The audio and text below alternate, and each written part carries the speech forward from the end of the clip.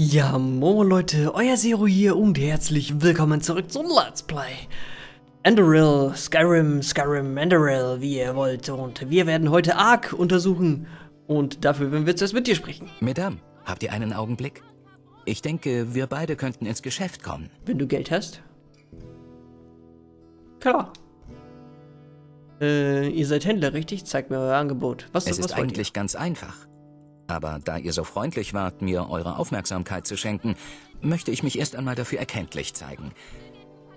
Ihr seid viel auf Reisen, richtig? Ich habe ein paar Handwerksbücher, über die euch sicherlich nützlich wären. Welches wollt ihr? Äh, was, hä? Was willst du denn? Handwerkskunst, äh... Ihr schenkt, ihr verschenkt eure Ware? Wo ist da der Haken? Es gibt keinen. Zufriedene Kunden kehren wieder. Und ich bin mir sicher, wenn ihr euch erstmal von der einwandfreien Qualität meiner Waren überzeugt habt, werdet ihr in eurem ganzen Leben keinen anderen Händler mehr sprechen wollen. Gut, das ist vielleicht etwas übertrieben, aber ihr wisst, was ich meine. Okay, Alchemie, Zauberung, Handwerkskunst. Sehr schön. Sagt, wollt ihr euch vielleicht noch ein paar weitere Bücher oder Groschen verdienen? Es gäbe da etwas, wobei ich Hilfe bräuchte. Es gibt keinen Haken. Nein, nein, nein. Und was meint ihr? Womit braucht Hilfe? Machen wir es kurz. Ich habe ein Problem. Und dieses Problem ist meine Schwester, Sila. Wisst ihr, ich gehöre zu der Sorte Mensch, denen nicht alles vom Schicksal in die Hand gelegt wurde.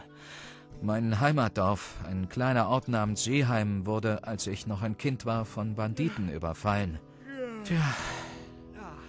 Und sowohl mein Vater als auch meine Mutter kamen dabei ums Leben. Und warum genau interessiert mich eure Familiengeschichte? Sie interessiert euch, weil sie für unsere Zusammenarbeit unabdinglich ist. Fakt ist, meine Schwester und ich sind unterschiedlich damit umgegangen. Während ich das Erbe unseres Vaters, das wir aus dem Dorf retten konnten, dafür benutzte, in seine Fußstapfen zu treten und ein Geschäft aufzubauen, schloss sie Gesellschaft mit den falschen Leuten, mit denen sie sich auch heute noch umgibt. Kurzum, sie ist eine Staubschnupferin. Tag und Nacht verbringt sie in irgendwelchen Spelunken der Unterstadt und verprasst den Rest unseres Vermögens für ihre Sucht. Das wäre alles kein Problem, wenn durch die, naja, die jüngsten Ereignisse auf der Welt das Geschäft nicht schlechter laufen würde als sonst. Ich brauche unser Vermögen, und zwar das Ganze, um das Geschäft am Laufen zu halten. Ähm.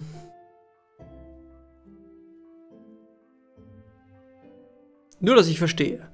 Eure Schwester verprasst euer Geld für ihre Sucht. Nun, genau genommen ist es unser Geld.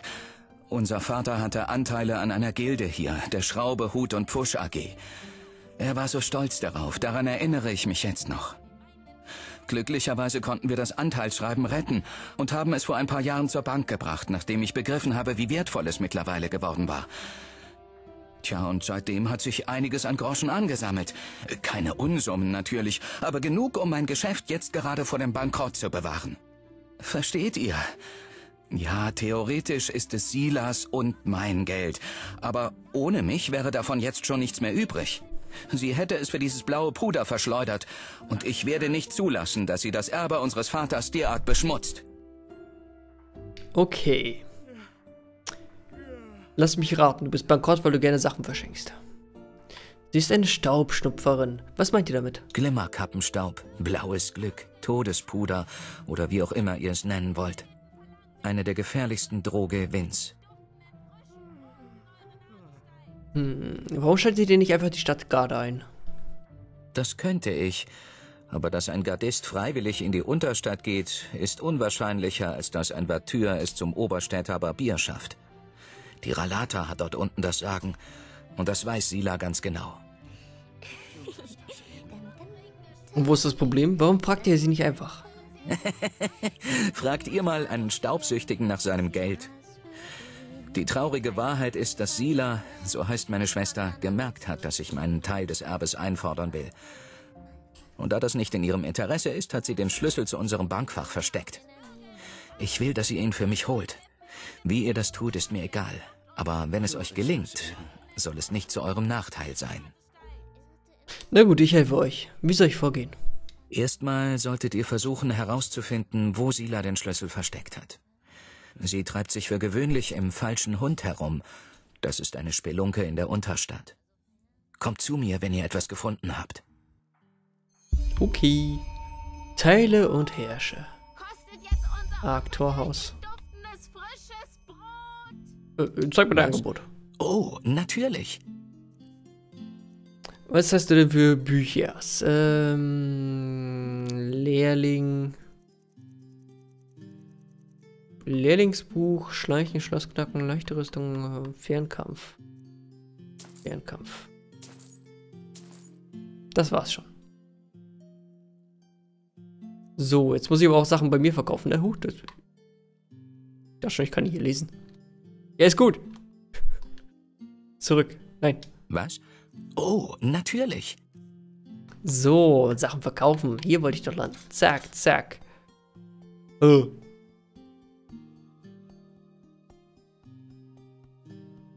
Eisenschwerter Flammen war derzeit mein Schwert, ne? Alles gut. Hat's überlegt, ob ich jetzt vielleicht nicht zu viel verkauft habe. Alte Robe. Zauber benötigen 7% weniger. Ah ja, komm, scheiß drauf. Schwere Rüstung verbessern brauche ich auch nicht. Magie habe ich schon, oder nicht? Ich behalte es mal. Also ist gar nicht ausgerüstet, oder? So ein bisschen Gold hast du noch, ne? Ja, komm, hier. Nimm die ganze Scheiße. Wahrscheinlich war das nichts wert. Ich habe nicht drauf geachtet. So, ähm...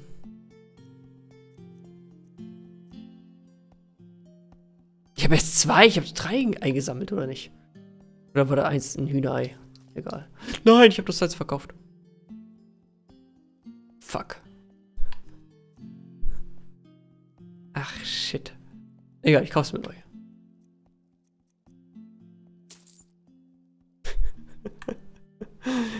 ja, ich weiß.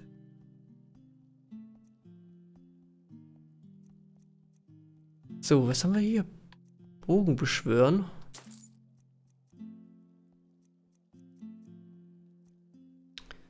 Gut, dann vielleicht noch ein paar Tränke verkaufen. Was sagt ihr dazu? Ausdauer, schwere Rüstung, äh, Schockschaden, Schock. Brauche ich alles gar nicht. Ausdauer, Ausdauer, Feuerschutz. Alles kaum was wert, ne? Äh, Krankheitsheiltrank behalte ich definitiv. Magieschutztrank baue ich nicht. Morgen, was regeneriert Ausdauer? Nö. Brauche ich auch nicht. Perfekt.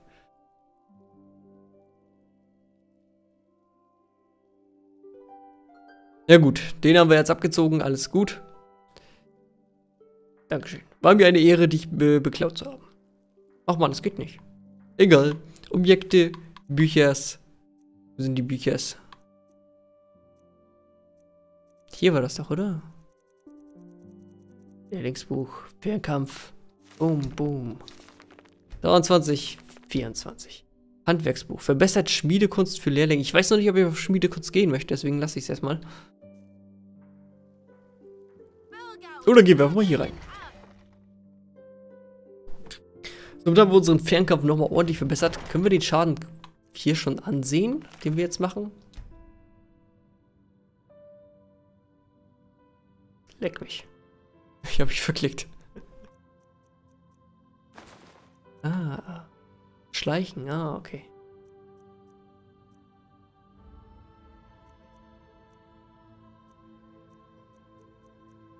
Immer noch 10? Na gut, dann halt nicht.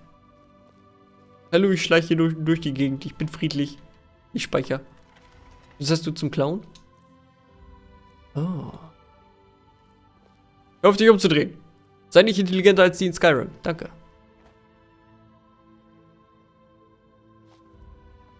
Ich hätte zuschlagen können, als ich noch die Möglichkeit hatte. Alter, hör auf mich anzugucken. Nein, steck fest. Ach so. Bleibt stehen auf der Stelle. Ihr habt gegen das Gesetz verstoßen. Und das What? Ich, hab, ich bin geschlichen. Was ist, warum ist das verboten zu schleichen oder was? Bullshit. Dann halt nicht. Nägel. okay, wir dürfen nicht schleichen, ansonsten werden wir erwischt. Das haben die echt nett programmiert. Respekt an euch.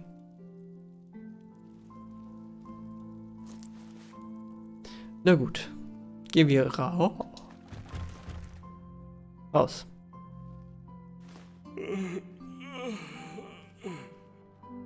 Uh, was haben wir denn da? Uh, uh.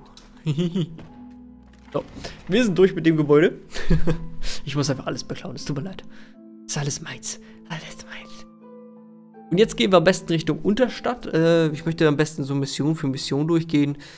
Ich finde, wenn man zu viele Missionen auf, eine, auf einmal annimmt, kommt man aus dem Spiel raus. Also, dass wir quasi nicht mehr wissen, um was es in der Mission geht. Deswegen möchte ich es gerne einzeln machen. Das wäre schon ein Träumchen. Wo bin ich denn?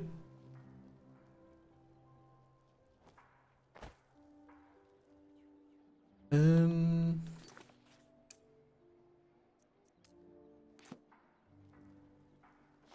Naja, Es ist doch irgendwann muss man sich. Okay, gehen wir hier rein. Wenn, wenn mir die Quest sagt, wir sollen hier reingehen, dann gehen wir natürlich da rein und klauen ein bisschen.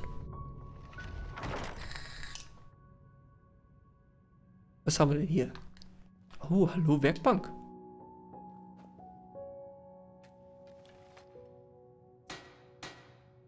Ich kann einfach nur einen Lederhelm machen. Cool.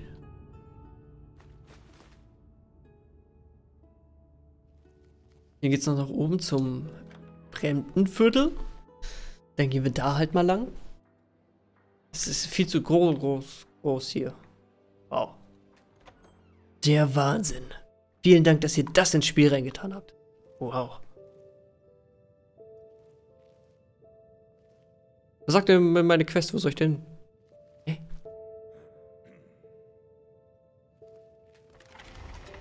Okay. Meine Quest sagt, ich soll runter. Ist klar.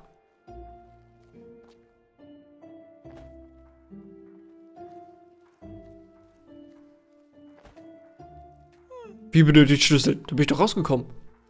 Hä? Oder bin ich hier rausgekommen?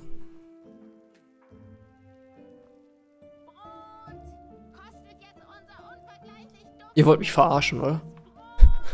Ihr wollt mich doch einfach verarschen. Ich spring jetzt runter, komm. Drauf geschissen.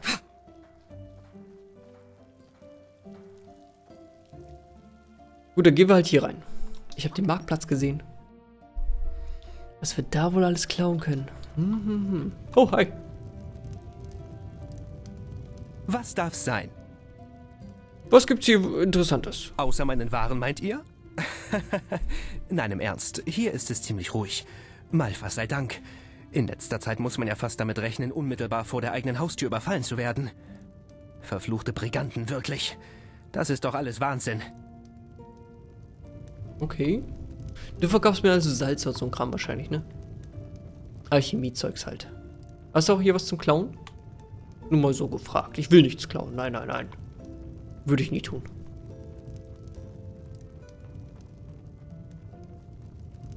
Hallöchen. Expertentruhe. Eure Fähigkeiten reichen nicht aus. Oh, dafür reicht's aber aus. Expertentruhe, Alter. Was geht mit euch ab? Das Leben des Torgan. Wisperzunge, Band 4. Ich nehme mal einen raus. ich habe nichts geklaut. Wirklich, versprochen. Bin weg. Da läuft, mir, läuft er mir einfach hinterher. Was für eine Kackpratze. Da vertraut er mir nicht. Wie kann man mir nicht vertrauen? Ganz ehrlich, das geht, das geht gar nicht. Hi. Herrje, was ist denn das für eine Rüstung, die ihr da tragt?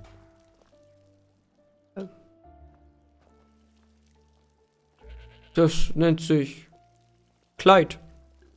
Ist, ist das nicht schick? Okay. Verfolgen wir mal die Quest. Was ist denn das für eine Rüstung, die ihr da tragt? Ja, ja, ja. Schickimicki Braut. Schreitet wohl. Kann ich euch ganz unverbindlich zu einem Galeriebesuch einladen. Lange werdet ihr dafür nämlich nicht mehr die Zeit haben. Warum? Nein? Gut, dann einen wunderschönen Tag auch. Sonn. Nein? Oh. Haare. Dann einen wunderschönen Tag auch. Holde Verehrer des knusprigen Geschmacks. Okay. Ihr könnt von äh, dem Betrieb einer Galerie leben? Hier ist sie, die Frage, auf die wir alle gewartet haben. Ja, wir können davon leben, beziehungsweise konnten es. Selbst auf einem starkköpfigen Land wie Enderal gibt es Menschen, die Kunst schätzen und bereit sind, für ein gutes Gemälde zu zahlen. Brot. Kostet jetzt So, so, so, deine Augen sind merkwürdig. Sonderlich motiviert klingt ihr ja nicht. Nein, ich. Ach, es ist doch eigentlich sowieso egal. Mein Gefährte denkt, zusammen durch Ark zu laufen und willkürlich irgendwelche Leute anzusprechen, würde irgendetwas ändern. Aber das ist doch einfach idiotisch. Wie lange werde ich äh, dafür, äh, lange werde ich nicht mehr dafür haben? Was meint ihr damit? Schließt ihr? Wenn uns die goldene Sichel die nächsten Tage nicht zufällig ein Fass Groschen vor die Tür stellt, dann ja, höchstwahrscheinlich. Wisst ihr es? Ach, seien wir doch mal ehrlich. Enderal ist ein Loch, wenn es um Kunst und Kultur geht. Auf Kile reißen sich die Reichen gegenseitig die Gemälde aus der Hand. Hier hat man Glück, wenn man davon sein täglich Brot verdienen kann. Tja, und seit meine Mutter sich entschlossen hat, ihren Briefboten durch eine Prise Luft zu ersetzen, ist unsere einzige halbwegs stetige Einnahmequelle auch versiegt. Eure Mutter ist Malerin? Oh ja, und was für eine, das muss man ihr bei all ihrer Besonderheit lassen. Sie hat Erhabene aus dem AK-Oberviertel porträtiert. Und das auf eine Art und Weise, die ich nie verstehen werde. Wie meint ihr das? Was an den Bildern ist so besonders? Hm. Das ist schwer zu beschreiben. Sie hatten einfach etwas unglaublich Intensives an sich. Das trifft's vermutlich am besten. Deshalb wollte sich auch irgendwann jeder Adlige, der halbwegs was auf sich hielt, ein Bildnis von ihr malen lassen. Und war auch bereit, eine Menge dafür hinzublättern, was natürlich gut für uns war. Ihr meint, ihr habt den Kontakt zu eurer Mutter verloren? Wie meint ihr das? Naja, so wie ich es eben sagte. Seit einem Monat hört man nichts mehr von ihr. Und Gemälde schickt sie uns auch nicht mehr. Und falls ihr euch fragt, warum wir sie nicht einfach besuchen, meine Mutter war schon immer etwas seltsam, was sich auch in ihrem Wohnort widerspiegelt. Sie lebt im Düstertal. Wisst ihr, ich komme viel rum. Vielleicht könnt ihr euch bei eurer Mutter mal nach dem Rechten sehen. Das würdet ihr tun? Ich, ähm, ja, das wäre natürlich großartig, aber ich warne euch gleich vor. Ich kann euch keinen Sold oder etwas bezahlen. Ähm, vielleicht kann eure Mutter ja ein paar Groschen locker machen. Hm, ja, vielleicht kann sie das. Einen Versuch ist es wert. Meine Mutter und ich haben nicht das beste Verhältnis, aber trotzdem. Ich habe ein ungutes Gefühl bei der ganzen Sache. Ihr habt eine Karte bei euch, ja? Zeigt mal her. So, da in etwa dürfte die Hütte sein. Glaube ich zumindest. Ich bin keine Kartografin. Also dann, viel Erfolg und bleibt am Leben. Und danke. Ja, ja, solange ich Geld kriege, ist mir das alles egal. So, ich will jetzt gar nicht so viele Leute ansprechen. Ich, nur wenn ich angesprochen werde, werde ich die Quest annehmen.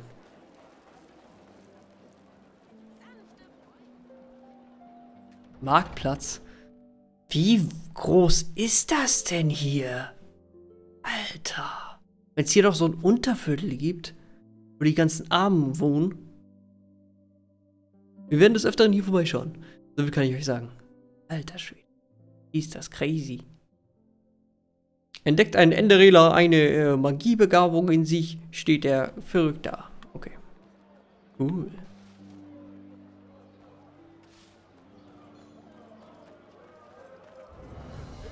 Marktplatz. Mesdames, Alles frisch von der Bauernküste. man muss eben arbeiten, um das erreichen will. Geld. das habe ich gerochen. So, wie kommen wir jetzt ins Unterviertel? Man müsste wirklich mal Ja. härter durchgreifen. Südviertel. Ihr wollt mich doch verarschen. Was geht denn hier ab? Wie groß ist denn das hier? Also will ich auch nicht hier 50.000 Jahre rumhängen und jetzt alle ansprechen. Deswegen werden wir nach und nach die Quests annehmen und nach und nach vollenden. Das ist der Plan. Hm? Myradenturm, perfekt.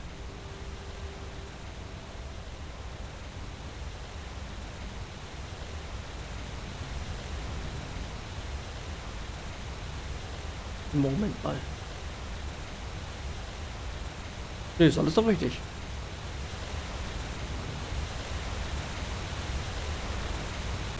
Unterstadt. Halleluja. Alter Schwede, das kann dauern, bis wir da durch sind. Das kann ich euch sagen. Aber ich freue mich, dass das Spiel tatsächlich länger ist als gedacht. Ich habe eigentlich gedacht, wir kriegen da maximal 20, 30 Folgen hin. Aber es wird mehr. Und die Unterstadt wird richtig cool. Ich liebe es, unter der Erde zu leben. Aber ich liebe es auch ganz oben zu leben.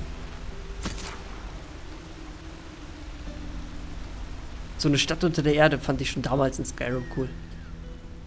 Oh! Oh! Holy shit. Okay. Äh, das Wirken und Kotzen beeinträchtigt zwar gerade ein bisschen die Aussicht. Ist das geil. Ist das geil. Alter, willst du mir sagen, ich, ich schaffe es Berge hochzubacken, aber nicht eine Kiste? Das halte ich für ein Gerücht. Ah. Äh. Ach, Verzeihung, Mr. Zaun. Ich wusste nicht, dass die da sind. Oh. Okay, hier sind verdammt viele Alpha-Wände. Einen Groschen, Madame. Bitte nur einen. Ich kann dir gerne helfen, wenn du willst.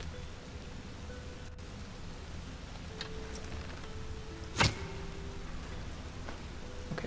Ich kann dir leider nicht helfen, es tut mir leid. Aber ich kann die Ratten für euch vernichten. Ich bin ein guter Mensch.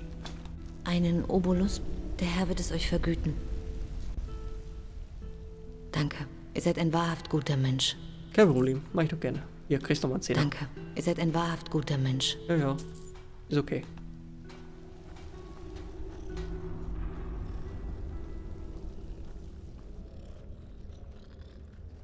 Ich glaube, dem geht's auch nicht mehr so gut. Das haben die richtig cool hier gemacht.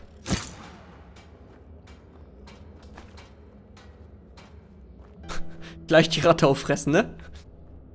Er hat mir den Pfeil geklaut.